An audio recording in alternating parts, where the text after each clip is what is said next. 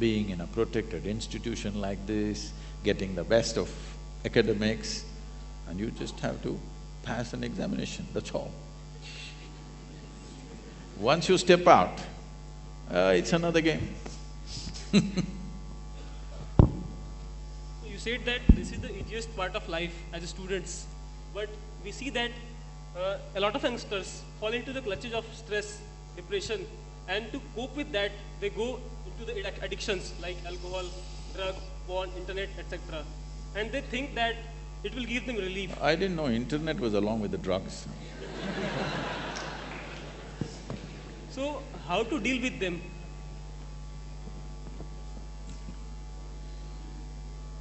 Look at me, I'm always stoned.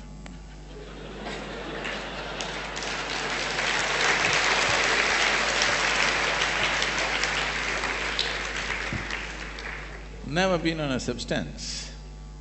But you must understand, whatever stimulants, whatever stimulus you may take from outside, essentially human experience of all kinds is caused only from within. The question is only, are you on push start or are you on self-start? Which is better technologically? Self-start.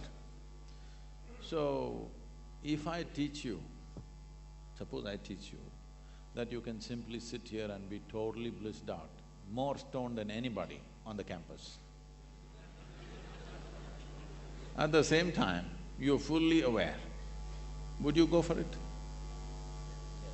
Hmm? Would you go for it? Fully stoned, fully conscious, would you go for it?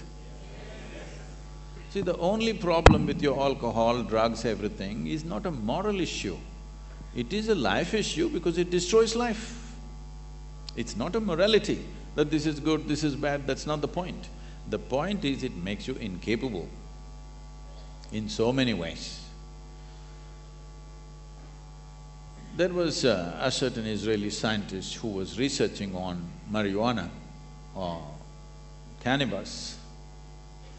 Over eighteen years, the US Drug and Drug Administration gave him large quantities of marijuana and he went on experimenting and eighteen years' time he came up with really nothing significant.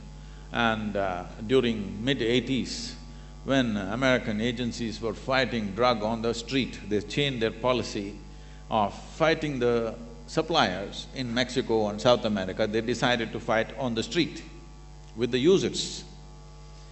So they said, uh, somebody said, this is not right, you're giving this man such a big stock, we don't know what he's doing, because he's not produced anything, eighteen years of research. Then he moved to Israel. The Israeli government looked at his work and they decided to give him big stocks of marijuana. And after another three and a half, four years, he came up with this. He found that in the human brain, there are millions of cannabis receptors. Then he threw this question to various disciplines. Anthropologists tried to look at it and say, at some time in history, maybe every human being was smoking, that's why there are receptors. Then they said, this is rubbish, because in many parts of the world it was not there. Even an Eskimo has cannabis receptors where he has never seen anything like this. Then various things happened, and the neurologists came up with this. They said, always the human brain is waiting for the cannabis, that which causes intoxication, not waiting for it from outside. It can generate from within, that is why there are receptors. So, this is something that we have always known. I can show you, I'm there always, but you look at my eyes, I'm always stoned. But as aware as anybody can be. If you do not know intoxication in life, you will never know a sense of abandon. If you don't have a sense of abandon, you will never walk full stride in your life. You will only walk half steps all the time. Only when there is no fear of suffering, because you're highly intoxicated and fully aware, not because you consume substances which will take away your awareness. simply because you're keeping the system, the human mechanism at its highest function. Now it is fully self-sufficient, blissed out all the time. Now you will not think of all these things. I'm… I want you to look at this, all young people, I want you to look at this. In your life, would you like to do that which works or that which does not work? Hmm? Human intelligence is always looking for that which works, isn't it? That which does not work is not what we are interested in, that which works. When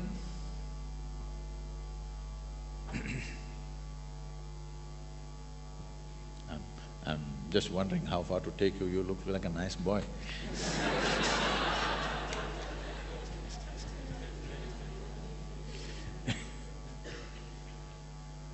This is… it is just this. Every experience, whatever happens to you, right now, let's look at it this way. Right now, all of you, those who are in the upper regions also, do you see me? Even if you're not listening, do you see me? If you see me, can you use one of your hands and point out where I am? You also. Oh, you got it wrong. You know I'm a mystic from southern India. so, today you know, this light is falling upon me, reflecting, going through your lenses, inverted image in the retina, you know the entire story, isn't it? So you see me within yourself, you hear me within yourself. Where have you seen the whole world? Within yourself. The way it is projected in the firmament of your mind, you are not seeing the world the way it is, you are seeing it the way it's projected within you. A grasshopper may not be seeing the world the way you see it, he's seeing it differently. Yes or no? Same world, but he sees, sees it differently because his visual apparatus are made completely different. You know that different animals hear, some hear subsonic sounds, some hear ultrasonic sounds. We… we don't hear both of them, yes? We hear something else. So we are all living in the same world, but seeing and hearing things completely differently. What is day for us, what is light for us, is darkness for some other creature, what is darkness for them is light for us. Obviously, our instruments of perception are created for our survival process and their instruments of survival are crafted for their survival process. But now your intelligence has blossomed to a place where survival is not good enough, you want to know the nature of life. Once this longing comes, then you must understand the instruments of perception need to be enhanced.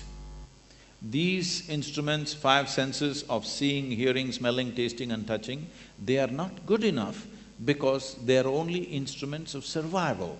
They are not instruments of true knowing because they show you everything in comparison. When I say everything in comparison, right now if you're six feet tall, you stand like a tall man, you walk like a tall man, you think like a tall man, you are a tall man. You went to another society where everybody is eight feet tall. Suddenly you stand like a short man, walk like a short man, think like a short man, you are a short man, isn't it? I'm saying what you know in comparison is only good for survival process, not to know the nature of life. So right now, everything that you know is only by comparison. If I touch this, I feel it's cool. No, that's not the reality. The reality is, because my body temperature is in a certain way, I make a judgment that this is cool. Suppose I lower my body temperature substantially and then I touch this, this would be warm to me, yes or no? So what you're perceiving is only by comparison. What you know by comparison is just a distortion of reality. It is good enough for survival, it is not good enough to know the nature of life. Now you're talking about stress and anxiety, As I said, every year we've been trekking in Himalayas. Two years ago, I'm in a tent somewhere in Nepal. and I'm doing some work. Someone else is cutting an apple. There's another person in the tent. That person tells this person, be careful, it's a very sharp knife. It irritates me. Because I call something a knife only if it's sharp. What about you? I call something as a knife only if it's really sharp, otherwise I will call it a screwdriver. I look at this and then I continue my work and another two minutes, again it is said, be careful, it's a very sharp knife. I say, come on, leave the man alone. If it's a child, yes. But this is a full-grown man, he knows how to handle a knife, not a complicated machinery. So, no Sadhguru, it's a very sharp knife. then I continue my work. Another two minutes, I hear a whisper, be careful, it's a very sharp knife. Another two minutes, he cuts his hand. then I give up. Why I'm saying this to you is, knife is not a sharp instrument, a knife is not a dangerous instrument. Every day in the world, both in terms of kitchens and operation theaters, tell me, are knives saving more lives or taking more lives? Saving more lives.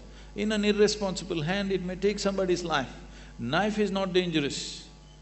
It is in whose hands it is, what kind of hand is it, which makes it dangerous. Knife is not a dangerous instrument, yes or no? Only if an unsteady hand is handling, if a child holds a knife, we say be careful, be careful because, not because knife is dangerous, because the hand is not steady. Right now, this is the situation. Compared to every other creature on the planet, your intellect is little sharper than them. Would you like to have a sharp intellect or a dull one? sharp. sharp. If you want a sharp intellect, you must learn to hold it right.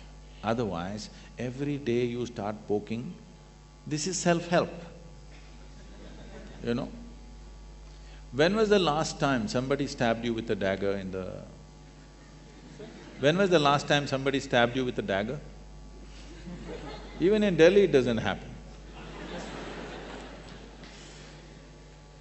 Maybe somebody poked you with a pin at the most when you were in school, or maybe they ignored you, they did not even do that.